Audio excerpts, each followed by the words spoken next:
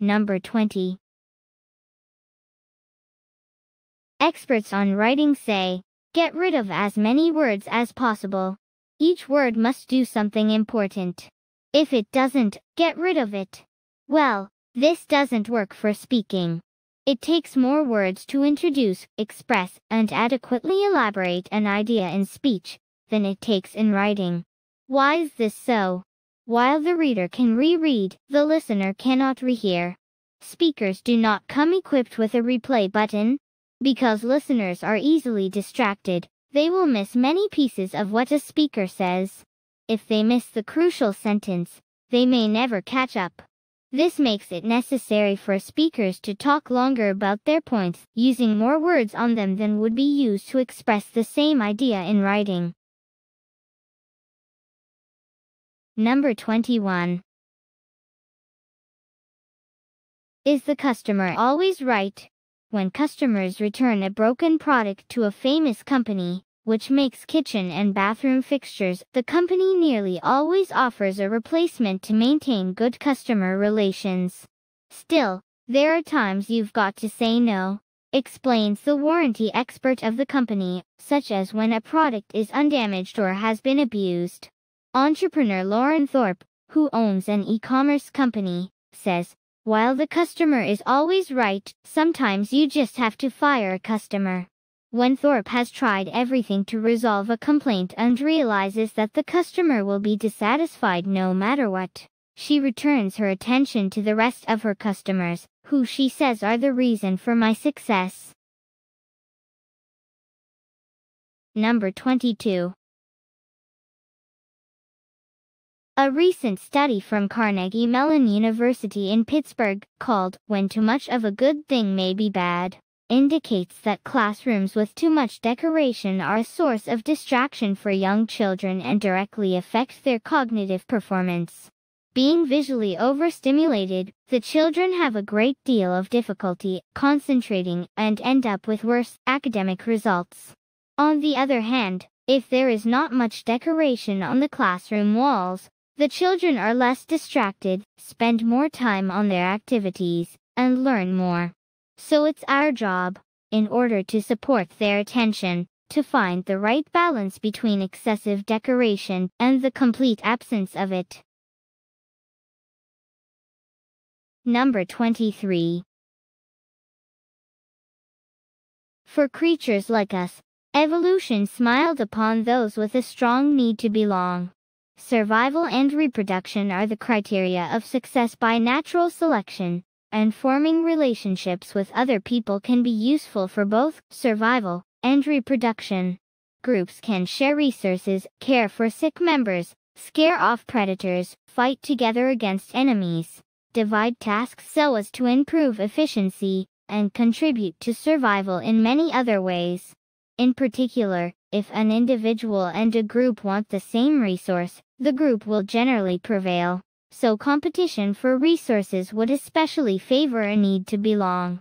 Belongingness will likewise promote reproduction, such as by bringing potential mates into contact with each other, and in particular by keeping parents together to care for their children, who are much more likely to survive if they have more than one caregiver. Number 24.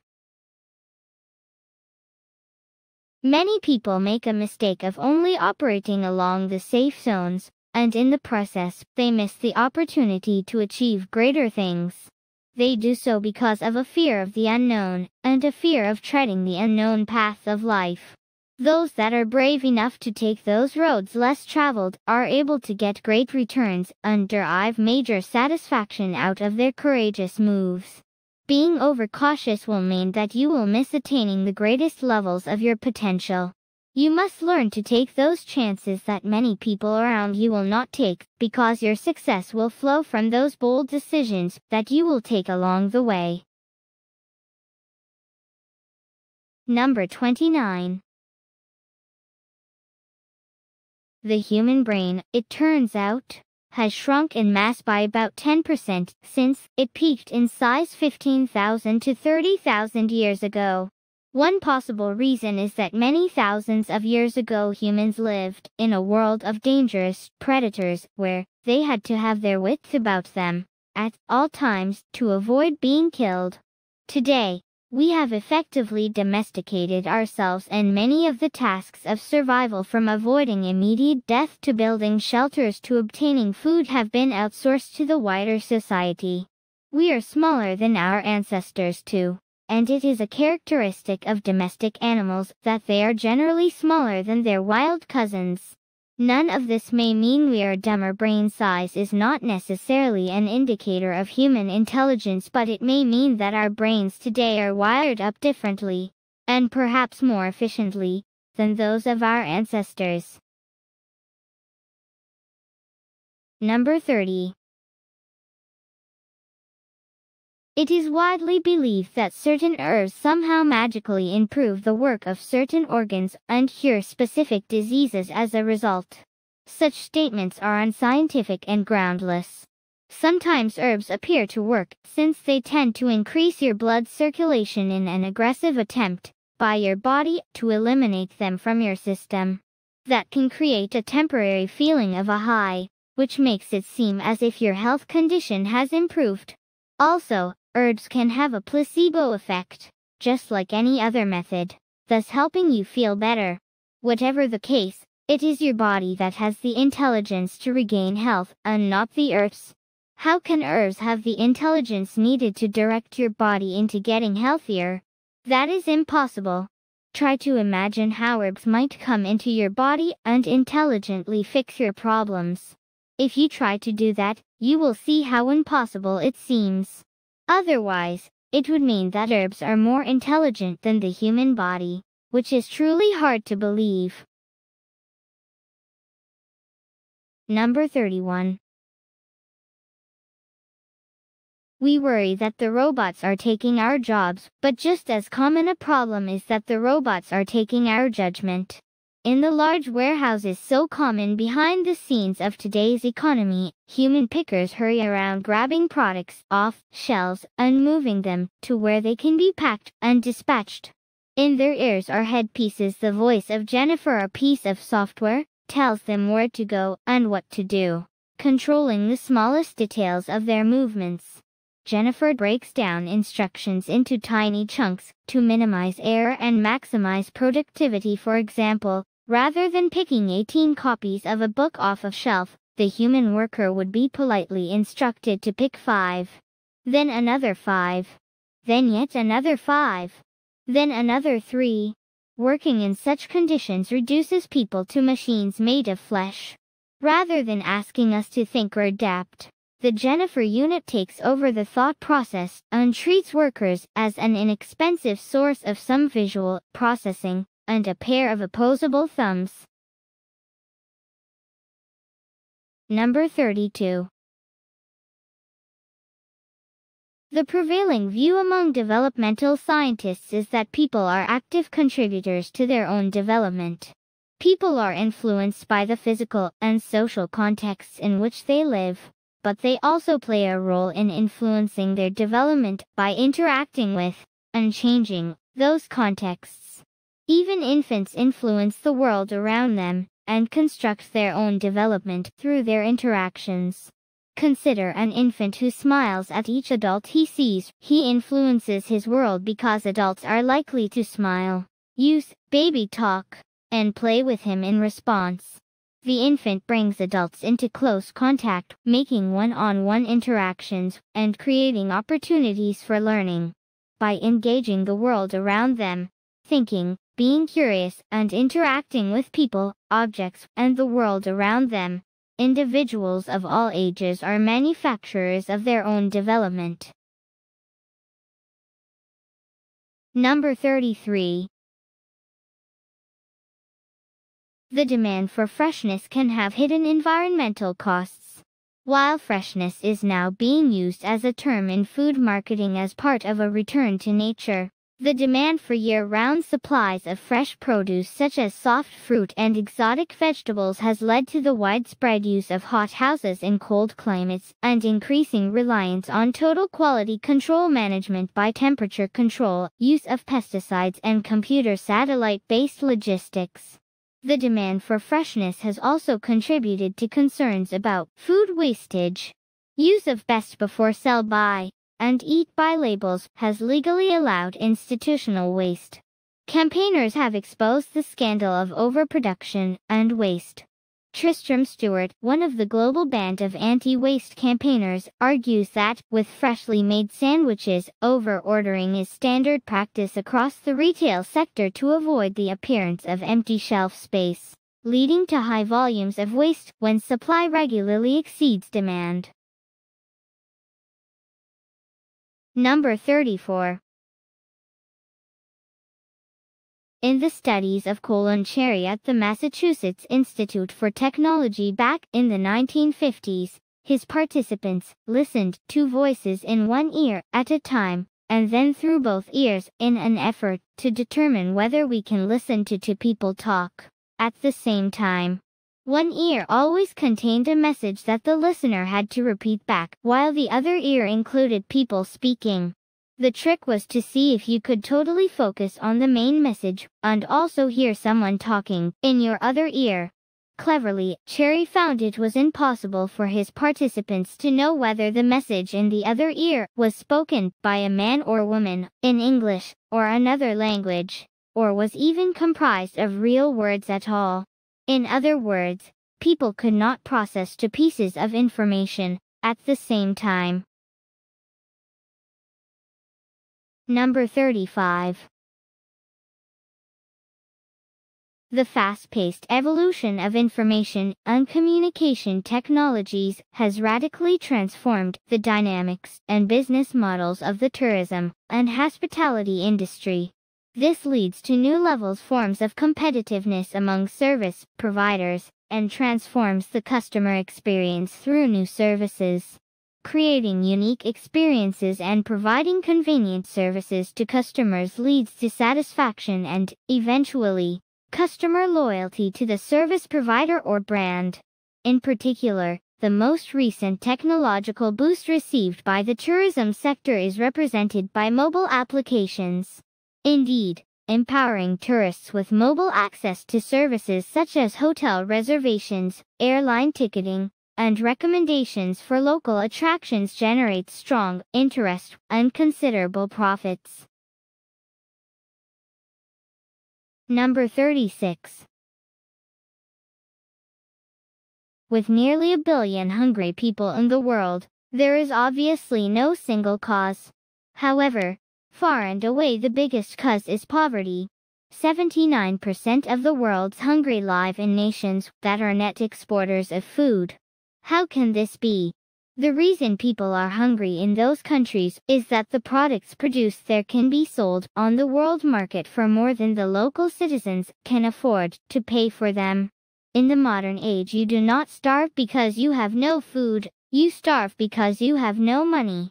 So the problem really is that food is, in the grand scheme of things, too expensive and many people are too poor to buy it. The answer will be in continuing the trend of lowering the cost of food. Number 37.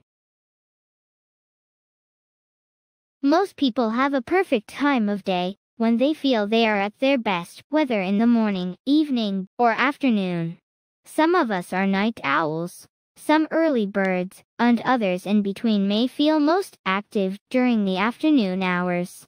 If you are able to organize your day and divide your work, make it a point to deal with tasks that demand attention at your best time of the day.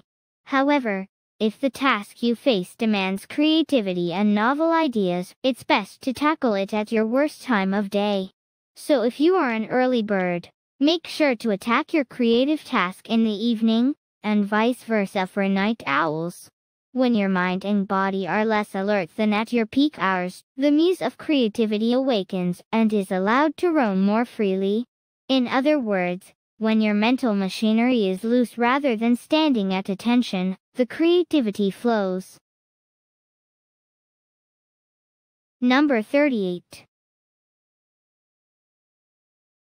Television is the number one leisure activity in the United States and Europe, consuming more than half of our free time. We generally think of television as a way to relax, tune out, and escape from our troubles for a bit each day.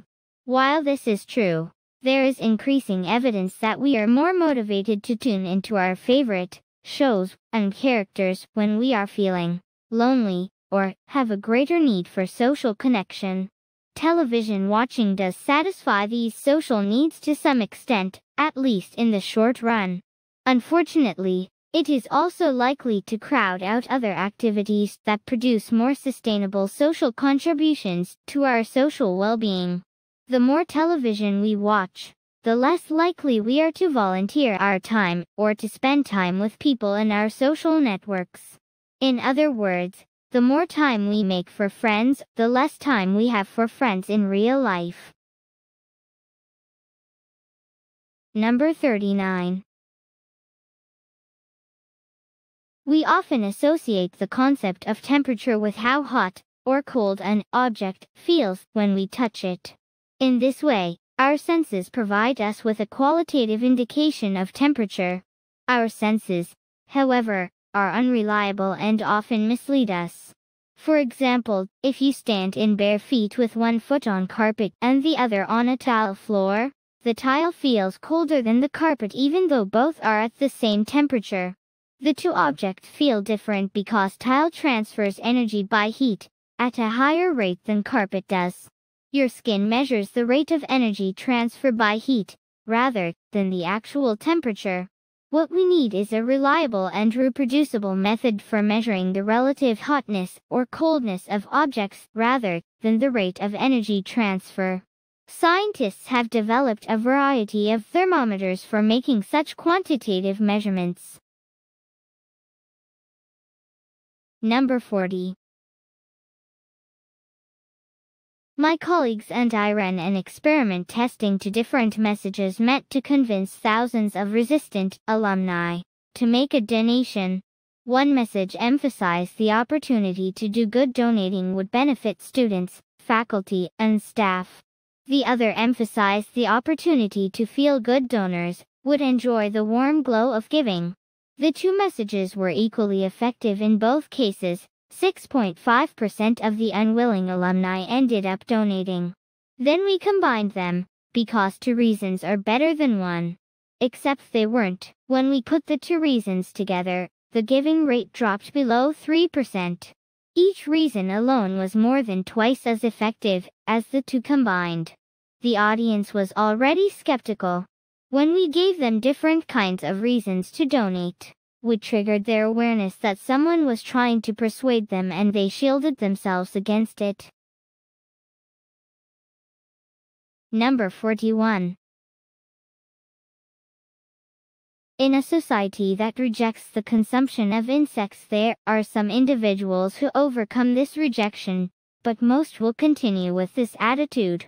It may be very difficult to convince an entire society, that insects are totally suitable for consumption. However, there are examples in which this reversal of attitudes about certain foods has happened to an entire society. Several examples in the past 120 years from European American society are considering lobster a luxury food instead of a food for servants and prisoners considering sushi a safe and delicious food, and considering pizza not just a food for the rural poor of Sicily. In Latin American countries, where insects are already consumed, a portion of the population hates their consumption and associates it with poverty. There are also examples of people who have had the habit of consuming them and broken that habit due to shame, and because they do not want to be categorized as poor or uncivilized.